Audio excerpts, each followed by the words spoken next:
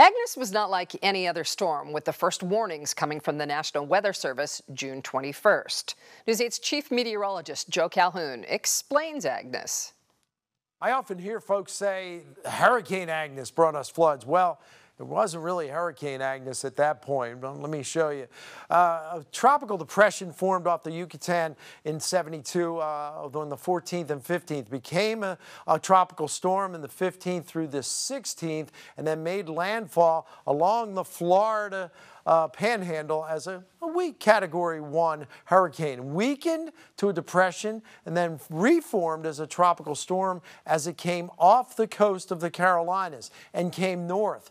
But at the same time, and this is the key that made the difference, an upper level system, a mid latitude system, started coming in from the Midwest. And what that did was it captured what was left of Agnes and it just sat here for a couple of days and it rained and it rained and it rained. Wasn't a tropical storm, wasn't even a tropical depression, just a big old rainmaker over the Susquehanna Valley. And you're talking about a foot of rain in most of Pennsylvania as you got a little farther on to the north of the Susquehanna Valley. As you get up towards Selinsgrove, you're talking about almost 20 inches of rain.